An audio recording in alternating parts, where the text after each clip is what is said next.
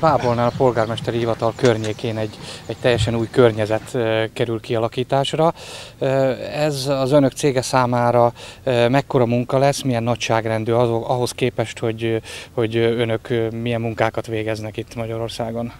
Szvitelszki Magyarország Kft. tudni kell, hogy egy országos cég, osztálytulajdonosaink vannak. Maga ez a munka, amit itt Bábolnál fogunk végezni, ez egy közepes méretűnek számít, a maga bruttó 61 millió forintjával. Ez egy városközpont rehabilitációnak nevezhetjük, itt gyakorlatilag a polgármesteri hivatal előtti területnek a rendezése az egyik feladat, a másik feladat a hivatalhoz tartozó parkolónak a átépítése, egy kulturált parkolási lehetőséget biztosító terület, illetve az a terület, ahol most állunk, itt egy játszótér lesz, egy európai normáknak megfelelően kialakított játszótér.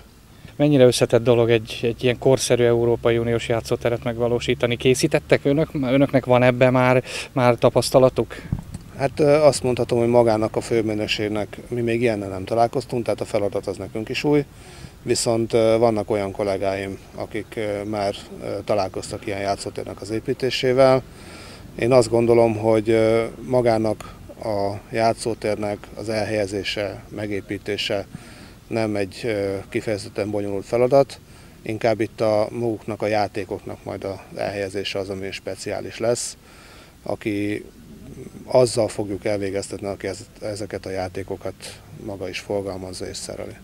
Ha jól emlékszem a tervekre, egy olyan 15-20 autónak az elhelyezésére alkalmas a parkoló, három területen lehet parkolni, gyakorlatilag egy, egy ilyen trapéz, durva trapéz formát kell elképzelni a parkolónak, egyik oldalára bejárat van, és a másik három oldalán helyezkednek el a párhuzamos parkolók. Gyakorlatilag, ha jól emlékszem, az a terület az teljes egészében parkoló lesz. Hát a polgármester hivatal előtti területen jelen pillanatban is van egy emlékmű. Ennek az emlékműnek a megtartásával az emlékmű körüli területnek a rendezése fog megtörténni.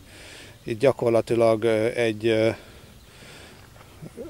pici körforgalom lesz kialakítva, ahol mi körbefogja ezt az emlékművet, és ezen fog majd a közlekedés folyni, gyalogos közlekedés természetesen.